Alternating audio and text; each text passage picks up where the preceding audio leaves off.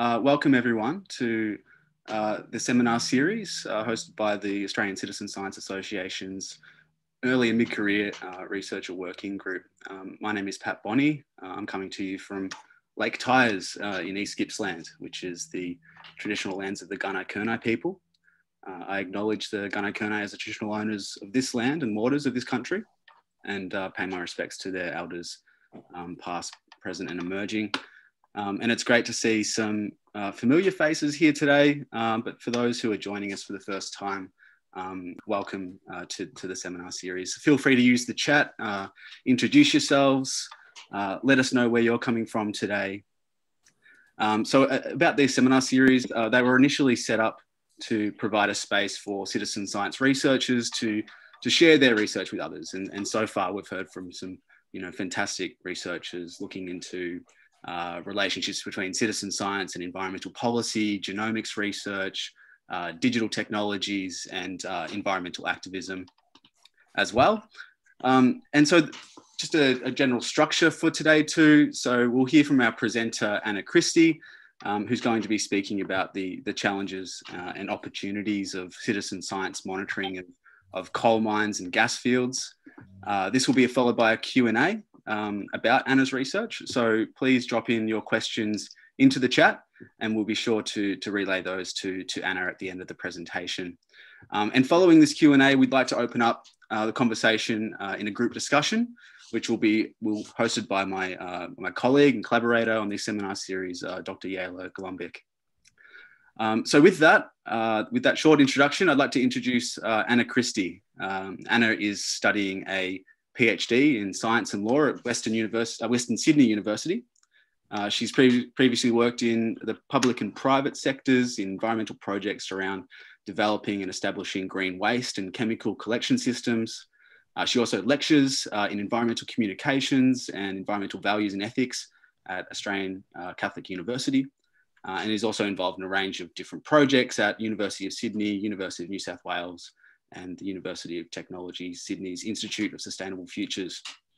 Uh, since 2014, Anna has conducted tours of the Leard and, and Pilliga, I hope I'm getting that right, Pilliga forests, connecting visitors and students uh, with these inland forests and uh, raising awareness of the impacts of coal and coal seam gas mining.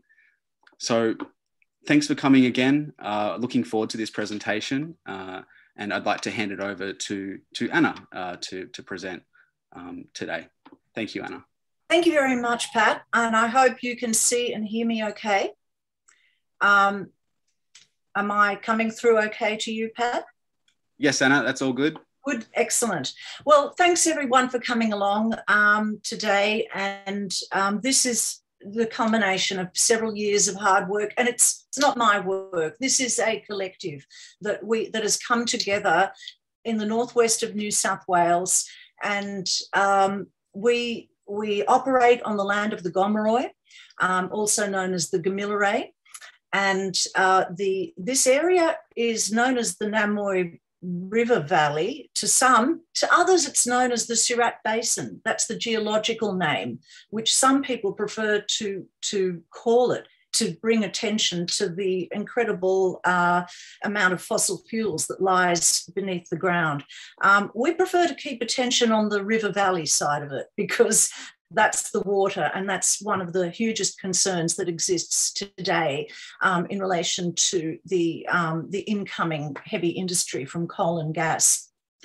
Um, so I, I wish to offer my respects to the Gomeroi people. They continue to fight to protect their ancestral lands. And this battle is going on today um, against multi billion dollar companies who seek to come into these greenfield areas and to um, uh, divide and conquer so that they can gain what they think is a form of social license to, to conduct this kind of industry there. Um, the Leard Forest Research Node was established in 2015 following the expansion of the Boggabri coal mine and the commencement of the Maules Creek coal mine in the Leard Forest. We are not associated with a particular university and we are a, a collective, we're a node. Um, we we operate according to um, some uh, procedures and transparent um, uh, sharing of information wherever possible. Um, but we have been fairly organic in our um, establishment.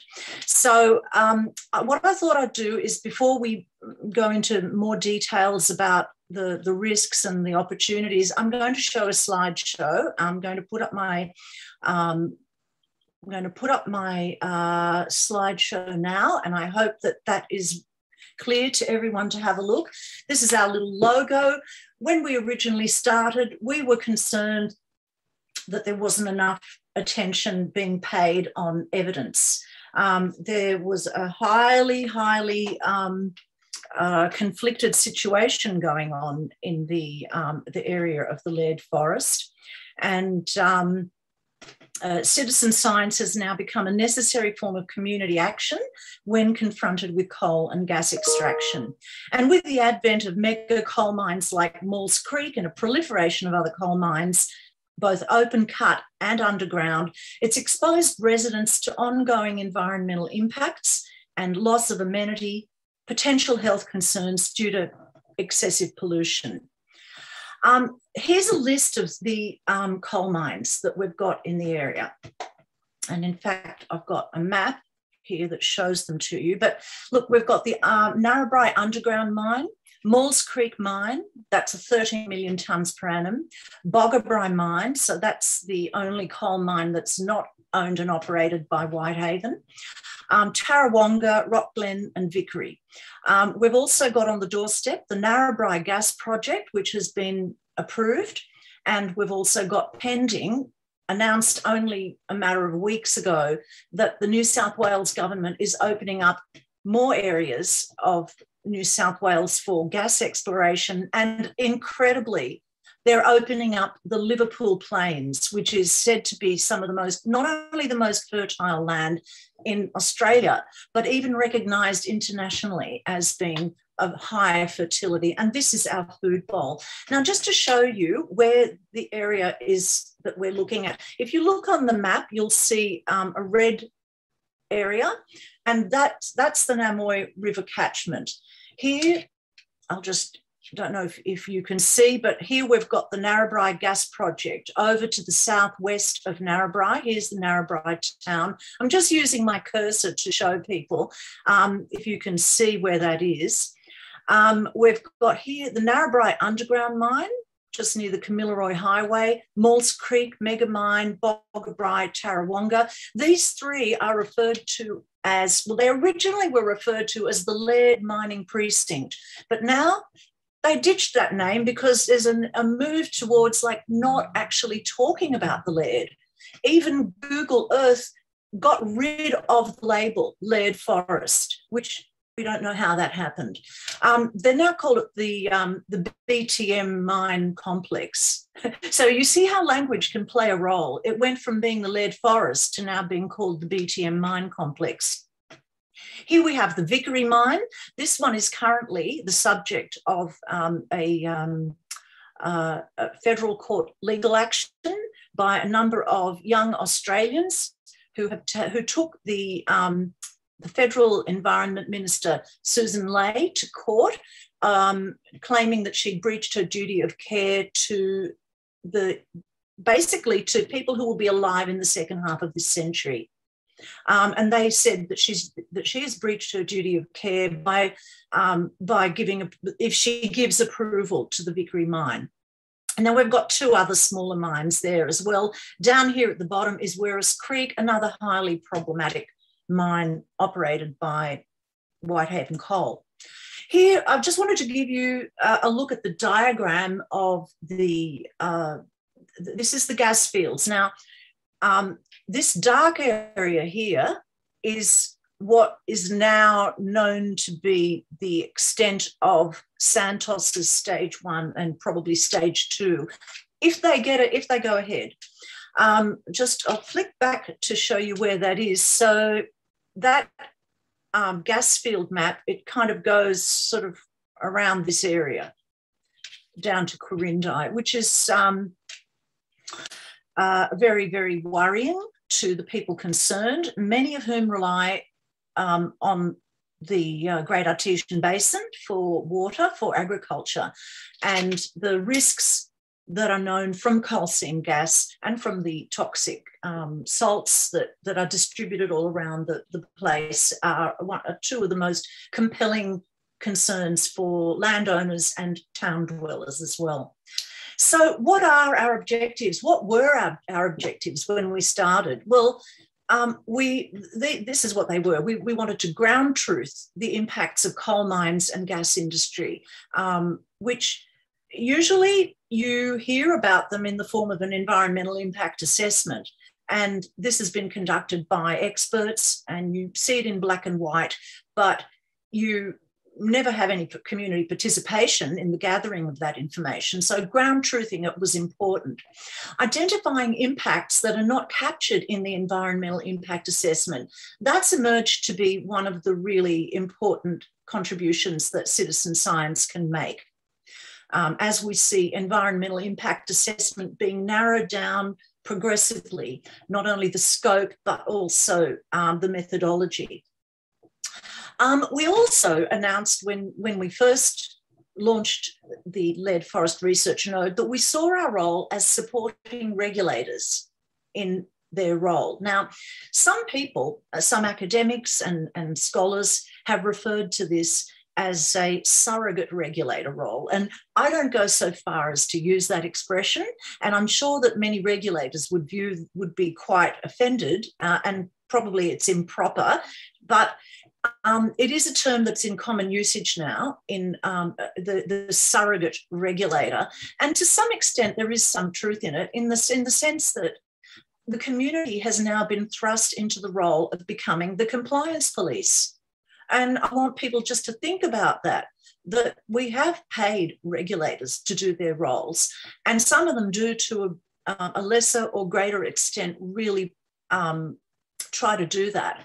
But the reality is that the prosecutions that are occurring now against coal mines and the reporting of breaches, this is overwhelmingly occurring by virtue of the public um, making reports, gathering information and data.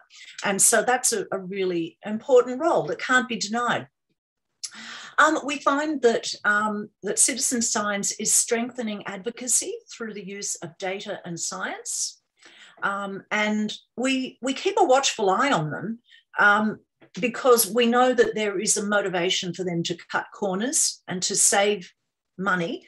And um, so, one thing about citizen science is that you don't just suddenly go, I'm going to do some science. A lot of monitoring goes on in the course of developing what what what inquiry am i actually doing? What information do i need to obtain?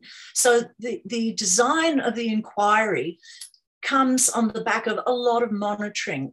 Um, and um, so the other point is to build an alternative narrative for public discourse about the mining impacts and to frame people away from the negative terms of protester and activist um, which uh, I, I, think we'll all agree these are negative terminologies designed to, um, to portray um, anyone who doesn't agree with the mining as a sort of a fringe dweller, uh, a troublemaker, and so on.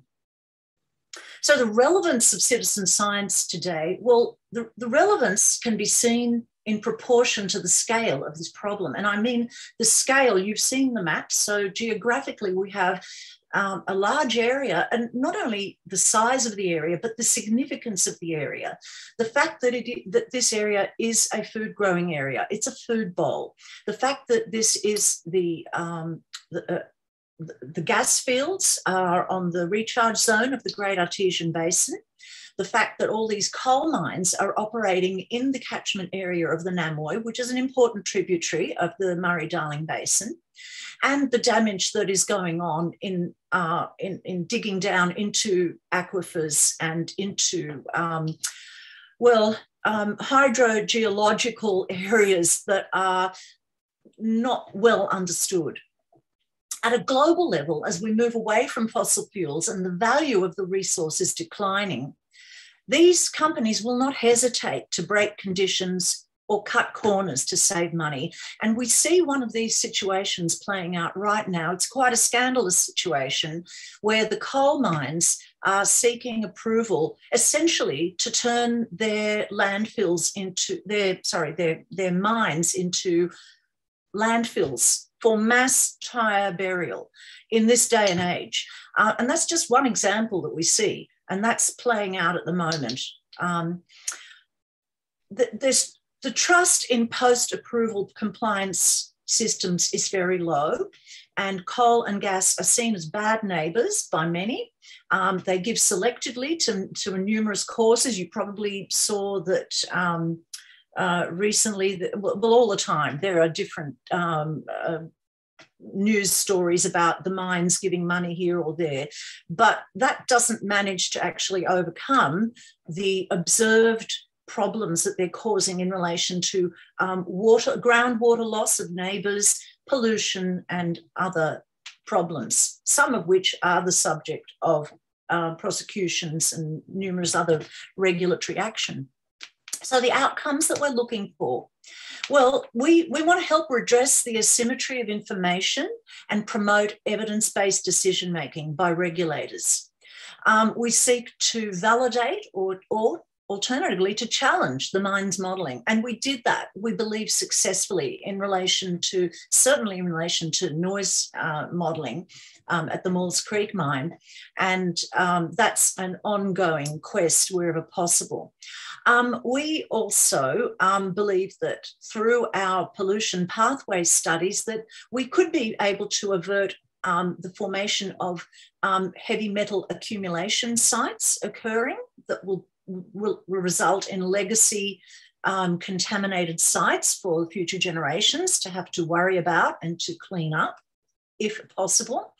And we call for stricter compliance standards. And look, this is something that cannot be properly addressed in today's um, um, lunchtime seminar, but it is a, a fact that the compliance of these mines suffers a great deal due to a number of factors.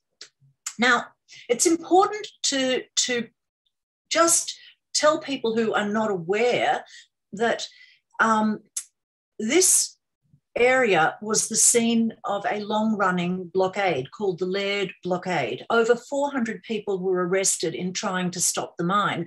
So it can't be ignored that the Leard Forest Research Node is conducting citizen science in the wake of what essentially was a direct action blockade to stop the, the, these large mines from proceeding in the Leard Forest.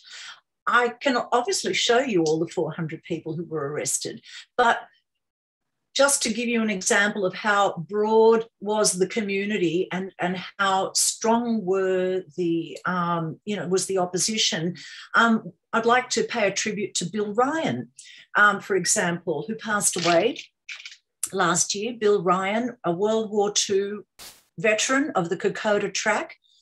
Um, he was arrested at the Maules Creek coal mine, and he always said to us, I, I went to fight for our democracy and I went to fight to protect our country. And, and I'm fighting again now, but I'm fighting on our own soil against these coal mines. We had people like a former DPP solicitor, prosecutor Marion Rose, who locked on to the Whitehaven pump at the Namoi River. We had the traditional tree sits um, in the forest, basically putting themselves in the path of bulldozers at the Maules Creek mine. And so this was a highly contested kind of situation whereby um, the community was um, uh, well, there, there was some concern in the community that outsiders were coming in and they were going to disrupt things and you know they were hippies and there was a lot of this misinformation. And there was also a, a, a sabotage that was conducted by people and attributed to, um, uh, to, to protesters and so on. But then um, things started to change. So before the Leard Forest Research Node had started, there had already been some citizen science conducted at the Leard, which was highly successful. This was the discovery of Tylophora linearis by the Greenpeace Threatened Species Protection Unit. Now, Tylophora linearis is a small vine, which is um, it's, it's a, a threatened species listed by the Commonwealth, and it was omitted from the um, the, the Maules Creek um, appro- approval. Sorry, it was omitted from their um, um, environmental impact assessment, and it was not listed as one of the matters of national environmental significance that was um, at risk at the mine. And here's a picture of it. And they went out there, and over 100 plants were found which had not been disclosed to the Commonwealth. Now, the result of that was that the company, oh, well, they went and they had to um, they, they then had to change their environmental assessment and they had to undertake a program of, of planting this, this um, endangered um, plant.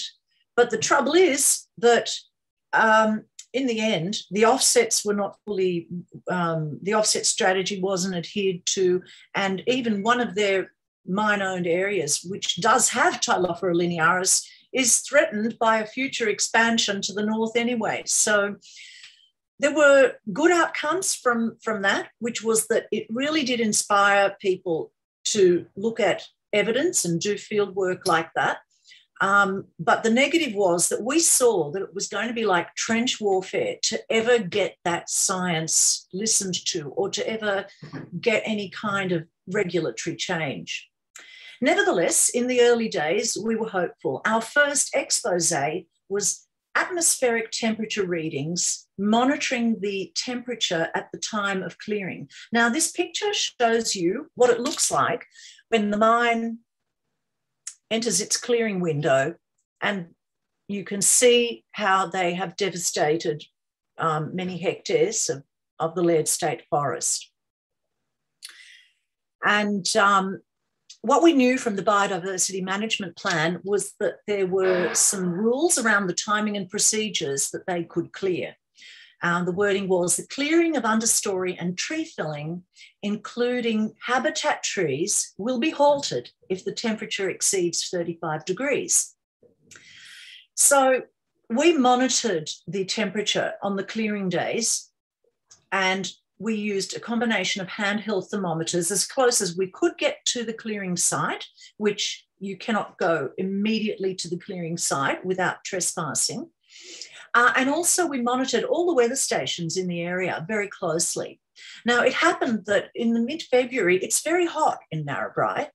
And on the days concerned, we had no weather station showing anything less than, certainly anything less than 35, and very often one or two degrees more.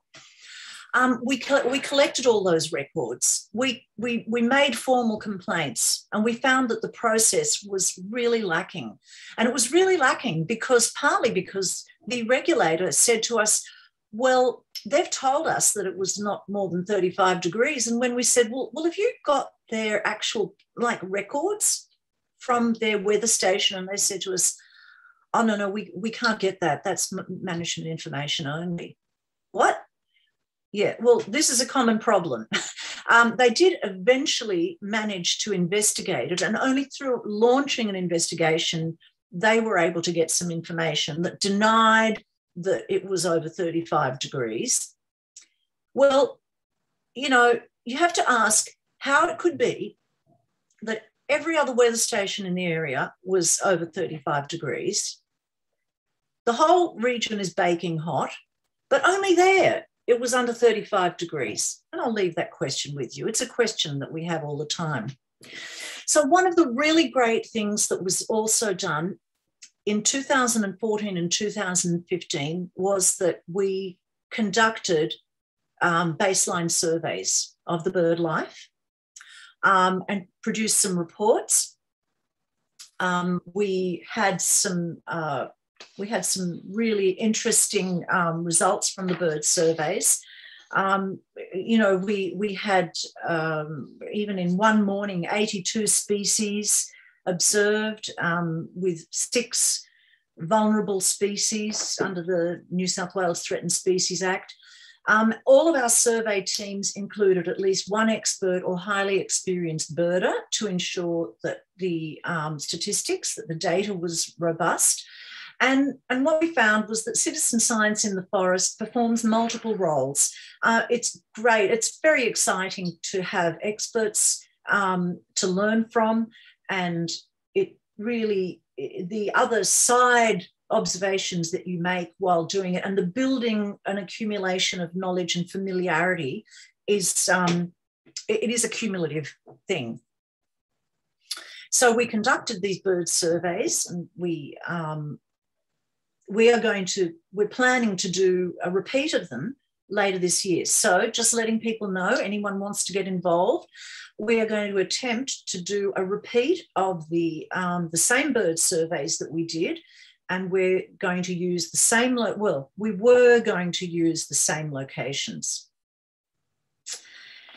Except for one, oh, I'll just go back just to show you. Um, so back then, when we did our survey, we nevertheless noticed that Boggabri Coal's Southern Rehabilitation Report was saying that already only two years after the expansion of that mine, um, that they were reporting a low diversity of threatened woodland birds had been recorded in the rehabilitated areas. So that was already the situation. And I can tell you it's a whole lot worse now.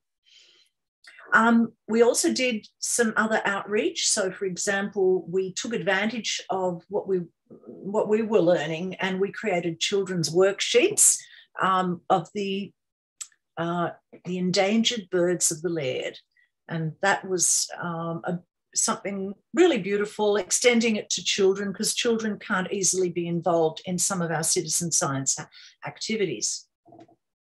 Our plans to repeat the bird surveys, well, they've somewhat been compromised at the moment. Um, here you can see this was our different areas that we surveyed, or some of them on that side of the forest. Uh, but, ta-da, well, just in April, we happened to be in the forest and we see some signs have been put up and this is the sign that's gone up the area in red that you see here this has now been turned into a um, an exclusive use area for the Boggabri mine. Now the Boggabri mine told the community consultative committee we didn't ask for it. Uh, New South Wales Forestry said, well, we've decided to create this exclusive use area because of the dangers if people venture there because of the fumes coming from the mine when they're blasting. So please, people, think about that. If that is too dangerous for the humans to go there during the, um, you know, when there's blasting, mm. how safe is it for all those animals and the threatened species that, that used to live there? Well, um, there are quite a few issues about the um, ongoing um, uh, encroachment on the forest. Um, and one of them, as I've put in the notes here, is one of the problems is that the analog sites that were set up originally to be the comparison sites for rehabilitation, well, guess what? They've been taken up by mining. So they have to move the analog sites. There's no transparency around the analog sites. And also, no transparency around the trigger action response plans. And if there's no transparency around them, then you have to really wonder what, how, how well they're being complied with at all. Today, very little animal life can be seen in the Leard Forest, and it's really sad. You go there once upon a time, there was bird song, there were animals, there were reptiles, and so on. Um, the picture you're looking at now was Lawler's Well. Now, Lawler's Well was um, a culturally significant site of the Gomeroi, as you can imagine. Thousands of artifacts were found there when they surveyed. A spring fed waterhole in the Leard Forest, it was the only permanent uh, water supply for the animals. Well, unfortunately, that was in the path of Whitehaven Coal's Maules Creek mine, and that has now been bulldozed. Um, we we believe actually that the water that has been in, the spring has been intercepted by the mine because water pours into the mine from that area near where that is. Um, so that was um, a, a, really sad thing that happened, um, and it's had an impact on on the um, on the wildlife, we believe. Now, um, regular blasting leads to strong vibrations, particulate pollution, and in some cases, NO2 incidents, which is toxic to humans. Uh, I just wanted to give people a little bit of an idea of what it looks like when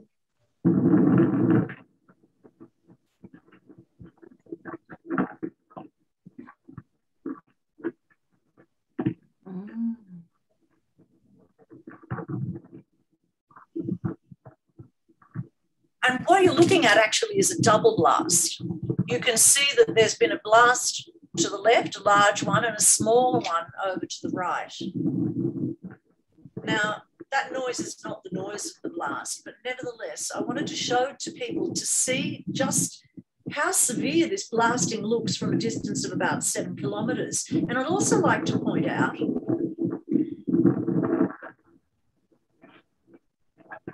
I think that gives you a bit of a picture of what it's like to be even seven kilometers from a blast like that, and that's happening to you every week. It's it's pretty severe.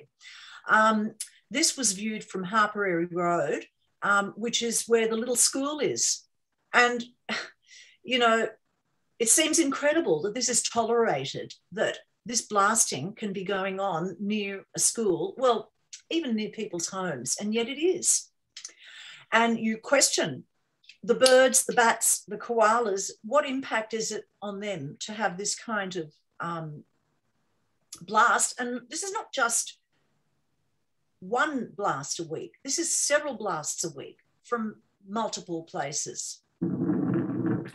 Sorry. So then the other thing that started to become apparent from the very early days of the operations of the, the mines was the noise disturbance from the Maules Creek mine far beyond where the 35 decibel noise limit was supposed to be. The locals soon experienced noise from the Maules Creek mine. They were experiencing um, uh, sleep disturbance, and um, you could actually hear distinct noises from over eight kilometres distance. Well, you know, when the background noise is when the background noise levels are only about 25 decibels, that's what you get. You get noise from toots. You could hear the toot, you could hear the tractor tread slap, and you could hear rocks being dumped in, in the trays. And we, we were, we were encouraged because we'd heard about community in um, Port Botany having success in analysing the noise levels from the container terminal. What had happened was that Port Botany residents had complained of sleep criteria breaches from the container term, terminal, the EPA set up monitoring equipment and concluded that there was no increase in noise levels. The skeptical residents asked for the raw technical data, analysed it themselves, and found errors and insisted that the EPA redo its analysis. Well, we found that really encouraging, but unfortunately, we weren't able to have that much success as the people of Port Botany. Um, we also were encouraged by developments in citizen science that were new technology was becoming available. So there was generally a sense that we could achieve something.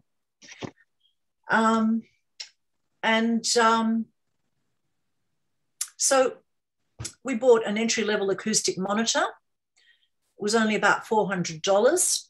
It validated the lived experience of what people were complaining about. And then we crowdfunded to buy a $6,000 um, class one acoustic meter that could be used. Um, it could be, uh, it, it, would be more um, something that they would listen to more, shall we say. You needed to have that anyway to comply with the industrial noise policy. And, uh, and so there, then we started two years of winter monitoring.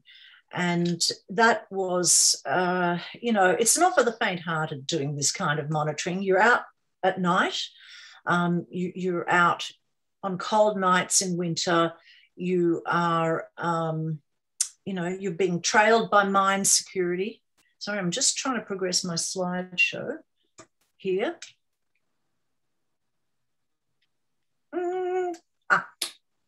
So our first Leard forest noise report in September 2015, well, um, we, we found that people were not always complaining because sometimes there'd be one person in the family severely upset about it, the other one didn't notice it so much. Low frequency noise is like that.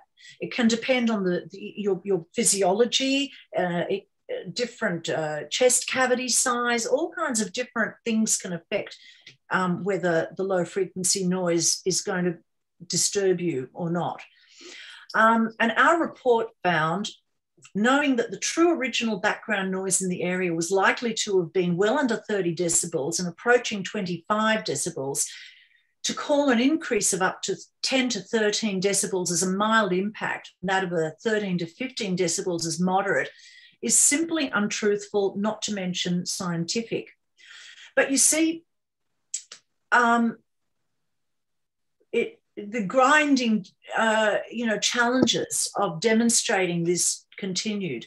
Um, we spent a night in observing the mine and correlating it with noise that we were picking up with our monitors so that we could match, for example, the sound of equipment um, with a particular frequency. Um, and we also produced a number of complaints and, and reports. Now, I'd just like to bring attention to this slide because this is where you really get into the nitty gritty of the citizen science. Um, and the challenges of citizens when you are coming up against experts. So we obtained through the Government Information Public Access, which is also known as Freedom of Information, we obtained some really interesting documents about what the experts and the bureaucrats were saying about us. Um, so, for example, it says, I just had a phone call from X, and I, I believe X was me, via the environment line.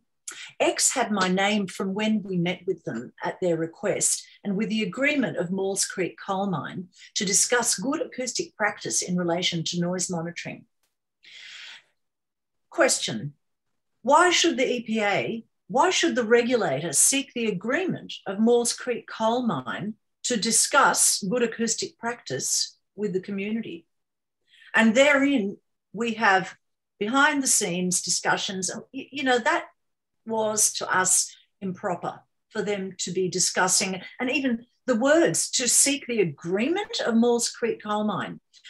Um, and also, the EPA did not propose to apply an approach simply because it, the outcome was preferred by one group or another, but based instead on the best science available. And look, this is something we hear now from Santos. We hear from the Department of Health. We're going to choose the experts we listen to. Well, you know something? We actually had evidence. So look over to your right, because it happened that on one night we were doing noise monitoring the same night that Global Acoustics, Whitehaven Coal's consultants, were doing it. And we found extremely anomalous results. We had these, these results. This is the low frequency. Look how high the low frequency is they were saying that they were under 30 decibels. And this, we, uh, we couldn't even get that amount because they won't disclose it. So we were faced with us having four readings that we would fully disclose and hand up all of our charts and graphs. They had two readings, which they wouldn't disclose. Even then, they would only accept the mine's um, opinion. Now, this was really highly problematic at the time, um, and we wrote a, a, a, very serious complaint to the EPA. Unfortunately, time is moving on. I don't have time to, to tell you the full story about that, but um, uh, to suffice to say that um, we we really challenged them as hard as we could because what we were finding was that the noise levels that were supposed to be contained within the red line were ex being exceeded way, way beyond that. And um, yet, still, the Department of Planning kept insisting, despite all of the evidence, that the noise um, in a rural environment would only would only extend to four kilometres um, at the maximum um, uh, the maximum decibels. So, well, um, Pat, shall I talk more about th this noise stuff or just give more of a flavour and deal with the noise later? Because, I mean, I, of course, we love our topic, um, but here, I'll just take that as a move on. This is an example of the kind of dust pollution that you get in the area. And when you complain, you get the answer from the mine that oh well there was a big dust storm somewhere else and or the farmers are ploughing um, and we've heard some ridiculous ones. We've even heard the the mine complain that the forest can is causing the dust which is scientifically incorrect because actually forests absorb dust. Um, but there was a breakthrough. Now this was a terrific breakthrough that the New South Wales EPA installed a real time camera on a private property near the Maules Creek mine. It was, um, it was a terrific breakthrough because it enabled the EPA based in Armidale to actually see what was going on. Up until then, it was the community's word against Whitehaven coal. And you've seen with the noise example how hopeless that is to try for the community to be trying to compete with Whitehaven coal. Um, subsequently, that property was, was bought out. The real time camera moved to the state conservation area as it's been inoperative for the best part of the year. And now, if you make a complaint about dust, well, they deny it, and then there's no evidence because the camera's not working. So that's pretty bad. But nevertheless, dust was obviously a big problem in the area. And, and I will add that there's a bit, there's a dust problem in Tamworth, which we claim needs some further analysis because the prevailing northwesterly wind will be taking dust straight to Tamworth. And Tamworth does have a kind of horseshoe ring of, of mountains around it. Um, the EPA has always responded to this with the, the argument that it's the wood fire smoke that's causing it. But even in summer, they claim that it's the wood fire smoke. And we believe that um, some kind of broader study needs to be done to see how far afield the um, the dust from these mines is going, because there is a possibility that it's actually going and causing dust pollution at Tamworth basically, um, when we did our own dust deposition monitoring at Maules Creek, which we did after a very detailed study of the whole geography and the environmental conditions and different land ownership in the area, we found the system to be farcical. We actually replicated a system of dust deposition which is used by the mines. They're obligated to do it under the conditions. But I'll tell you right now, it measures, it's, it's a ridiculous thing to be measuring because all it does is measure how much dust is falling. It doesn't tell you the chemical composition of it. You don't know where the dust has come from. And it's this kind of meaningless study that needs to now um, be looked into because it's actually stopping people from doing more meaningful studies that might apportion responsibility for the dust problem to a particular industry and also um, studies that will actually ascertain what is the chemical composition.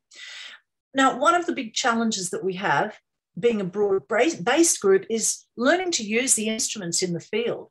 And that takes up a lot of time. So you might have to hire an instrument for a, a, a few days just to learn to use it. And then have to postpone your your material studies till later. And so that's a lot of work and a lot of a lot of time spent just doing that. Um, out in the field practice runs anemometer cross checking here we are using um, the dust meter practicing using the dust meter in preparation for doing a 24 hour study at the Boggabri station. And we used that just by driving a car backwards and forwards to look at how, um, how the readings would go up and down. Um, So, learning the geography is also critical to um, the study design and interpretation of environmental impact assessments. Um, at the 2018 um, Australian Citizen Science Association conference, Amelie van der Stok, one of our members, presented her, her study on foliar deposition of um, dust near the Maules Creek coal mine uh, across a transect. You can see this transect that was created, and tomato seedlings were planted and um, they were collected. And the results of that were, were would um, that basically the closer you get to the mine, the dust greatly increases. So claims from the Maules Creek coal mine that the dust is coming from elsewhere were strongly refuted by that study. So we do have a lot of mapping challenges. Um, we have maps in different formats. Um, we have difficulty of comparing. It's great that now GIS technology is the solution because you can now, uh, we now have the ability to uh, overlay different maps of different origins. Um, there are legal issues if you don't get your mapping right because trespass is a serious thing. Um, nighttime trespass is potentially dangerous. There are people with guns out there, pig shooters, landowners trying to keep pig shooters out. Um, and so, even on some occasions, I will do a, a check of tenure the day before fieldwork just to ensure that there are no changes to, to that. And here is a picture from our 24 hour ambient air monitoring exercise at Boggabri Railway Station. Um, fairly grueling. Um, and we um, we've discovered huge variations with uh, mainly with the locomotives. Um, the PM 2.5 uh, emissions from the locomotives. Uh, there was one occasion where uh, one of those locos was 2,000 times the emissions. Um, we knew that the locomotives, the diesel emissions were a problem, but we had no idea that, that were, they were going to be that much. Um, so um, that that was a learning experience. We haven't repeated it. Um, and here we are at the Boggabri station. There was a lot of community involvement in the whole dust um, program, people helping set up um, the monitors in their homes and wanting to learn about the results. Um, one of our really sad but important um, events was a biodiversity rapid assessment of the Leard travelling stock route in July 2017. And this is an issue that is playing out right now. Here we had a group of environmental science and ecology students who um, came along and participated in this rapid assessment. As you can see, this travelling stock route contains um, habitat trees, they're already marked. Here's a view of the travelling stock route before it got bulldozed. And this is critically endangered ecological community, white box grassy woodland of a high quality. It was linked to the Leard Forest until the mine got in the middle.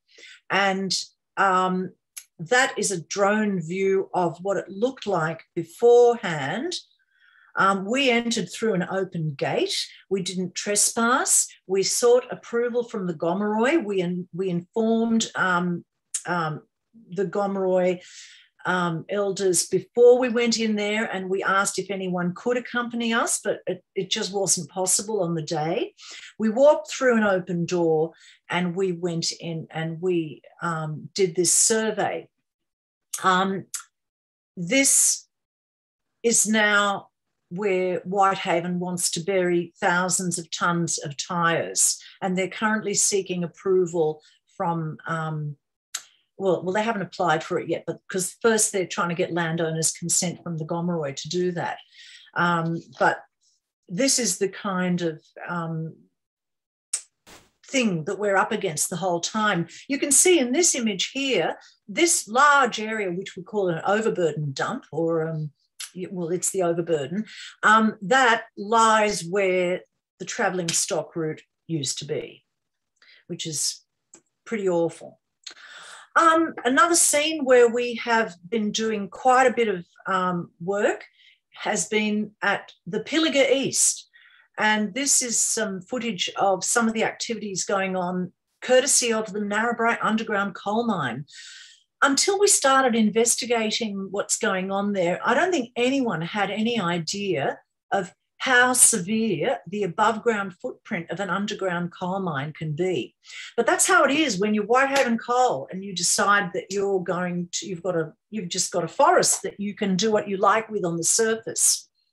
Um, this activity that we're looking here um, appears to be a some uh, setting up of a degassing station. Um, you can see quite a bit of mess there and um, drilling rigs and so on.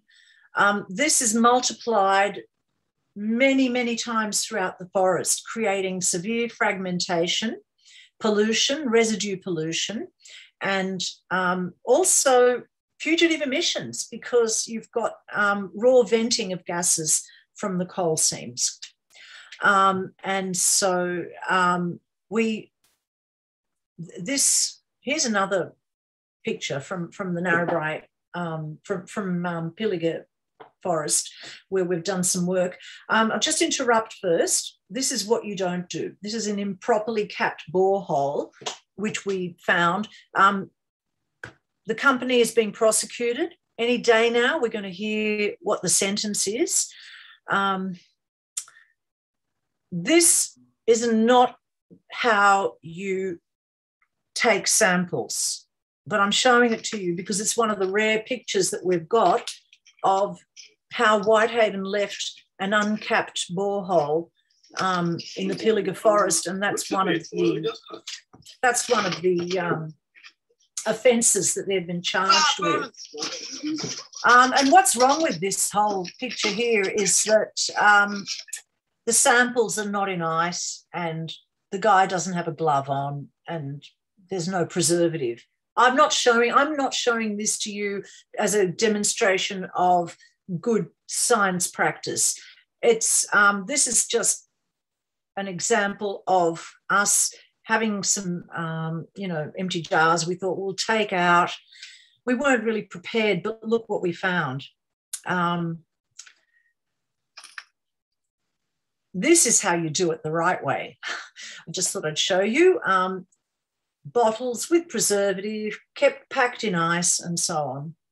Um, and that's how we've been doing it for our pollution pathways um, water testing, which we've got some pilot studies which we're planning to build on. We have discovered some accumulation sites that, that we've identified, and work is ongoing. More recently, one of the latest um, examples of citizen science is called GasWatch. Um, and that's been done with the um, Northwest Protection Advocacy Group, um, which is primarily a group that has been established to um, monitor the gas expansion.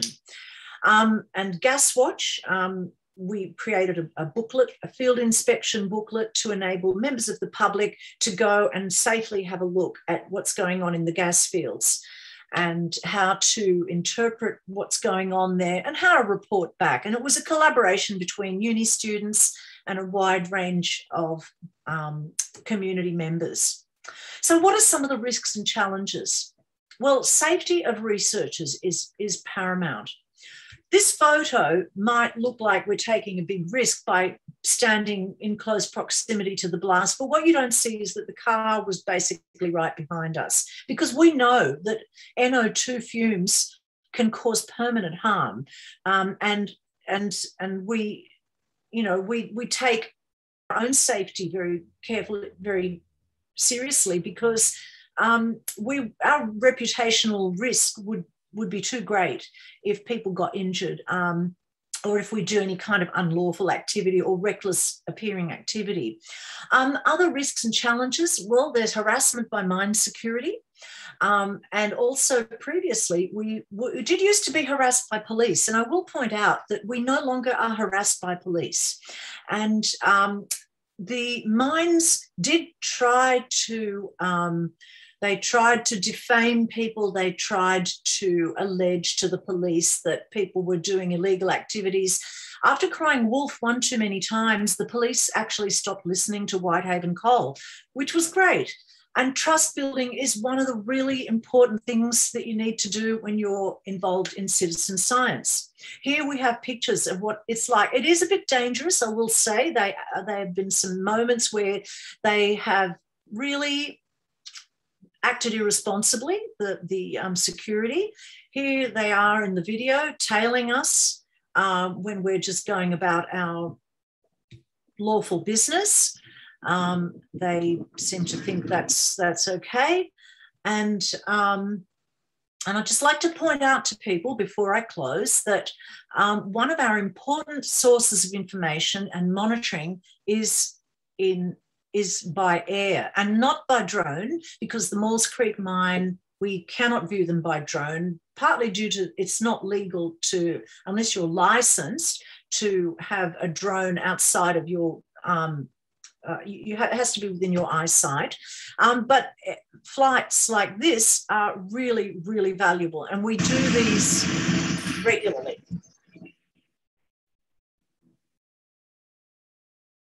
So this is a view of um, the, the Maules Creek mine, and um, it's these kind of it's these kind of um, flights that have really been so important in informing us about what's going on behind closed doors, shall we say. And here I'd like to, I've got a message from one of our beautiful members. Hi, Maria. Um, we're in the Pilliga Forest um, at the moment, and I'm a volunteer for the Leard Forest Research Node. And I encourage others, um, if, if possible, if you could join us, because citizen science is going to be an um, important, in extremely important in the future, ensuring that um, mining companies are kept accountable and to ensure that they they comply with with the regulations and the terms and conditions of their operations. Well, that's really so. Um, and I would like to thank you. That ends my presentation.